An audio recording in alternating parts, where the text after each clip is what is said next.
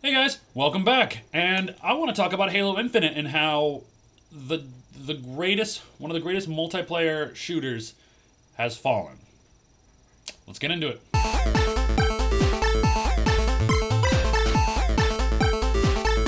Now we all know Halo Infinite started way up here and it's just continued to go down and down and down as the months go on because people realized this game was just it, it wasn't ready. It was not ready for launch. And i know that they got the multiplayer for free. Um, it was a surprise launch. You, know, you don't have to pay any money for it. But the game just the game wasn't finished. Even for live service you know as a live service game if we were to look at that it still fails to even remotely get close to a lot of successful other live service games. And I think the management behind Halo Infinite fucked up because they wanted to rush this out right before the holiday season, you know, get people to, you know, download it, start playing it, and buy microtransactions, which I'll get into later in the video. But once again, uh, publishers and heads of companies pushing games out before they're finished is ultimately ultimately leading to their downfall. And this has happened so many times. You would think these CEOs and these uh, uh, co- companies would understand not to do that, but they they don't listen. They don't learn and they're chasing that almighty dollar. And yeah, before anybody gets into it, I understand companies' job is to make money, but they only, it seems like gaming companies in particular, look at the short term instead of the long term. And that's not a good business model. Um, because of your, because of the rushed, lazy design choices they made put into this game, this game is dying.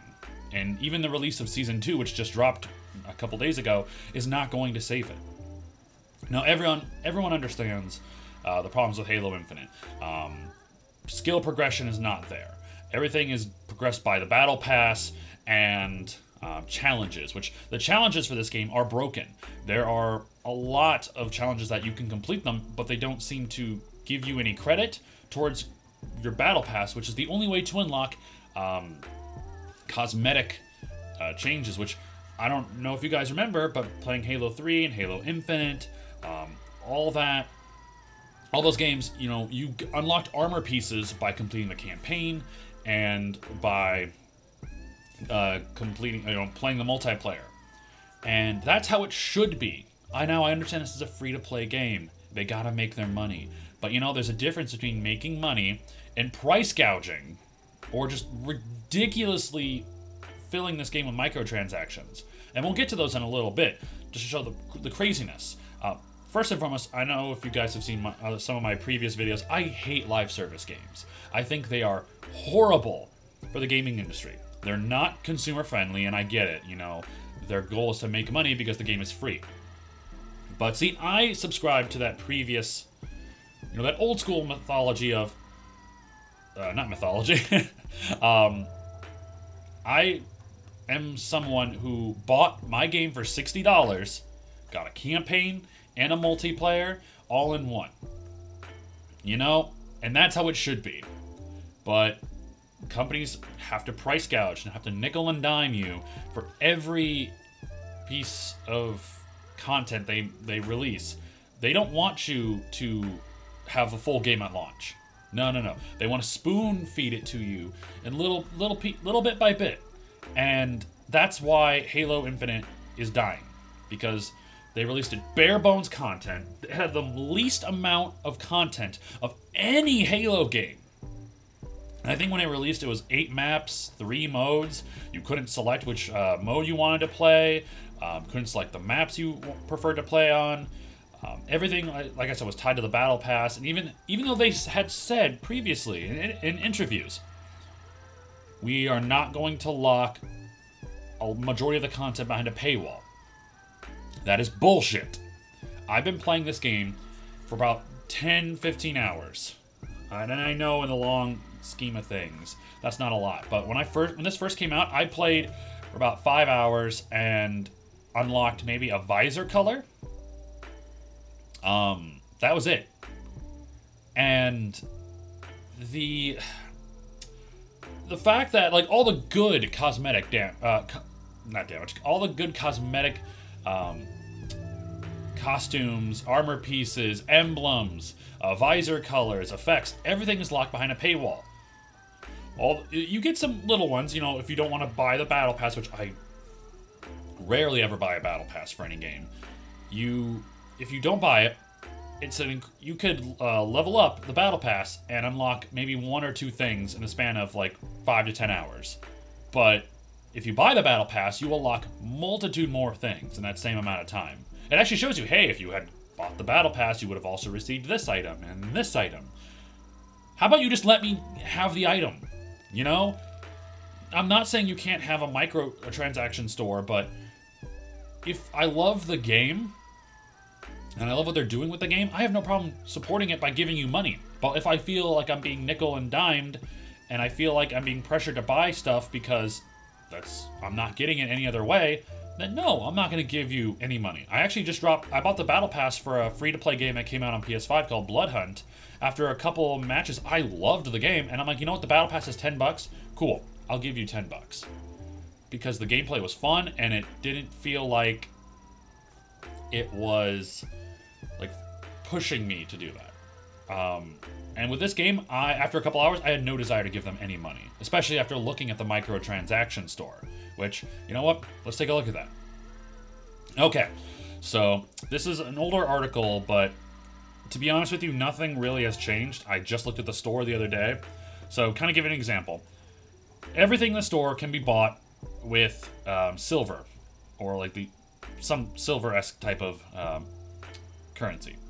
Um, to get 500, P- 500 credits is $5. Uh, what can you get for $5?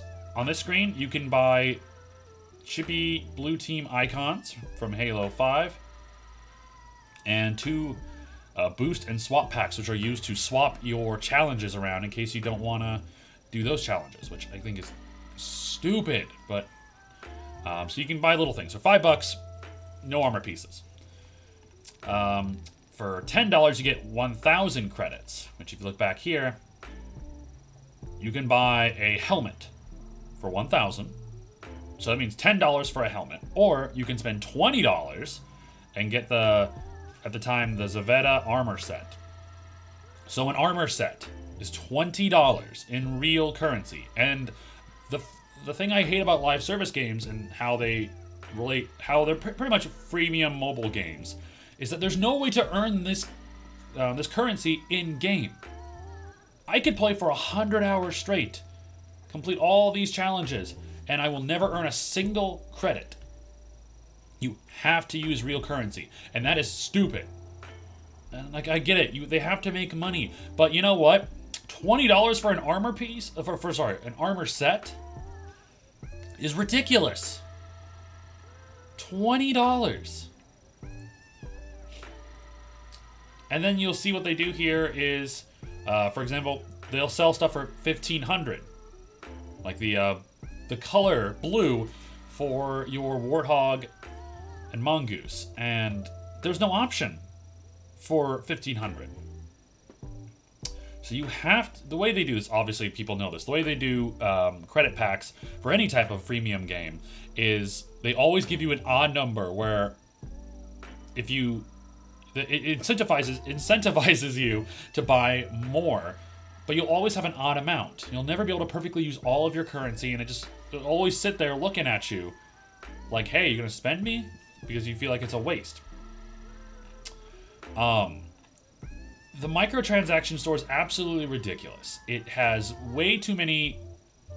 It's a mix of really cool content, really cool armor pieces and effects, and a lot of really stupid ones like cat ears.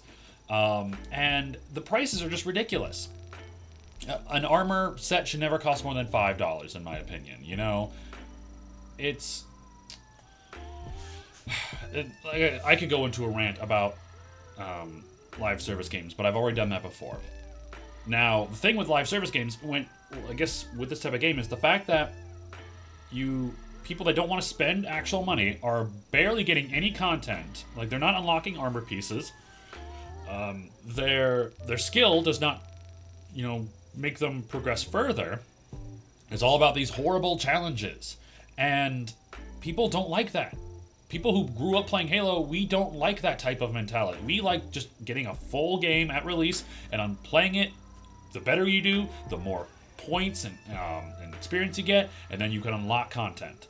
That is how we, who grew up with Halo, prefer it. This is all for the newer age of players who, you know, grew up with microtransaction and battle passes like Fortnite. And I'm sorry, people that play Fortnite are not going to come and play this because that's not what they grew up on. You they looked at the wrong target audience, but we're going to look at the player count here. All right, so on Steam, um, back when it first dropped in November 2021, the game had about average players of 102,000. And I and I think peak players, yeah, peak players, it was about 20. Uh, two, uh, can I talk today? Uh, 256,000 players. A month later, that dropped by over 100,000 players. When people started realizing that the game just had no content, the game the game's progression was terrible. And there was just there's no reason to play it. You didn't feel you didn't feel fulfilled and accomplished while playing it. Cat, can I help you? I'm making a video. I know. He only wants attention when I'm busy. But and as you can see, it's almost like it drops in half each month. And with the release of Season 2, it did bring people back. And I'll admit, after months of not playing the game, about a couple weeks ago, I did hop back on, and I have been enjoying it. The, the combat alone. I'm so mad, though, when I spend so long trying to complete, you know, level up and complete challenges, and I get a visor color. Or, like, I got like, a weird color for my armor, which I'm not a huge fan of, but like I need to use it because it's it differentiates my character from the others. Um, it's going back up, but there are even problems with season two. Uh, the new game mode, which essentially is a take on a battle royale, it it's broken. Like when you lose, you can either uh, uh, watch the rest of the match play out, or you can leave, and it even says you will not lose your experience. Guess what? When you leave the match before it's done, you do not keep your experience. The game is literally broken. It essentially comes down to Halo just not being ready. The game is not designed, in my opinion, was not designed for free to play. And not even just talk about the multiplayer, you know, the single player, in my opinion, is awful. I do not believe every single game needs an open world. I do not believe Halo needed an open world. I've tried to play it. I've gotten about five, six hours in. Um, and it just, it doesn't work in my opinion. I don't enjoy the open world when it comes to Halo. Certain, like I said, certain games do it well. Um, Breath of the Wild, Elden Ring, um, those games are great, but Halo is not one of them. Halo, in my opinion, is best when it is tight quarters, a corridor shooter um, or sandbox shooter. You know, not this. And you know, maybe those things are connected, but my point is, this game it just doesn't feel like it was made for old school Halo fans. You know, it was made for the new age of players, and when you make a game for a new audience and forget to take into account your older audience, your game is going to fail. Especially when there's so many free to play games out there nowadays you have to do something that differentiates yourself from everyone and says, hey, you know what? I could go play Fortnite, Apex, Bloodhunt, um, any uh, battle royale game. I want to play Halo. Well, not battle royale game or a free to play game. I want to play Halo. And Halo has not done that. Um, the game continues to be glitchy. The game continues to be just it's unpolished, it's unfinished, and it needed more time. Um, and one last thing is that the game, there's no point of buying the game physically on disc. I own every single Halo game on disc. The only one I don't have and is Halo Infinite, and I will never buy Halo Infinite on disc because the game isn't even on the disc. You people that got the game early thought they could try playing the campaign before it came out. No, the the campaign was is something you have to download. The the disc is essentially a key to download the game to your console. Which, at that point, the game's already free on Game Pass. There's no reason to buy a physical disc. Ever. And that's sad. Like, I will, of the six mainline Halo games, I will never own them all. Because I'm not going to buy a disc if all it is is a key to download the game. Because what if the what if it uh, goes down one day? Then I'm screwed. Anyway, that's just Halo. I want Halo to succeed, but at this point, Halo is is going to die out. And people have been saying that 343 is absolutely just horrible with the franchise. And to be honest, I think they are not the best choices for the Halo license. I actually enjoyed Halo 4. Um, the campaign was okay. The multiplayer I actually really enjoyed. Halo 5, I bought an Xbox One, specifically the Halo 5 edition. Spent like $600 when it came out because I wanted to buy a Halo, a, a new Xbox specifically for Halo. And I beat Halo in five hours, and I was completely just upset and disappointed of everything I played and how I just wasted $600 to get the premium edition console and a terrible Halo game. And I should have known that was the downfall. But instead of like learning from their mistakes, they learned in some ways with the game focusing more on Master Chief, but also failed on other ways. Obviously, with the game not even being on the disc, multiplayer being absolutely broken. Um, they have made strides, but it is sl- is too it's coming out too slowly. One thing they did say though is that they are trying to do a better work-life balance, and I actually love that. That is awesome. That is great for 343. And it made me think of something. What if the reason why there ha- there's not a whole lot of content coming out, and the fact that this season is six months at a time, when most seasons are about two to three months, is they're not crunching their their employees to make content. You work your eight-hour shift, you go home. That's why I think it should how it should be in any workplace. But if is this possibly the reason why we're not getting a whole lot of content? Is because they're not being crunched? If that's the case, this sets a very weird precedence that yeah, I don't want employees to ever feel like they have, you know, burnout from work, um, and they feel like they're spending their whole lives at work. But if this is the way things are gonna be, to be honest, I'd rather have that instead of employees feeling incredibly depressed over their work, you know? Now, this could just be from poor management and poor employees just not understanding how to make a game or designing it in a timely manner. But if I'm also not going to be as upset if it's because, yeah, you know, this is what happens when you have more of a work life balance where you work your 40 to 45 hours a week. Um, but hey, what do you guys think? Let me know in the comments down below. Um, are you still playing Halo Infinite? Um, what do you think they need to, need to do in order to save the game? Uh, thank you guys so much for watching. Uh, we'll see you on the next video. Take care.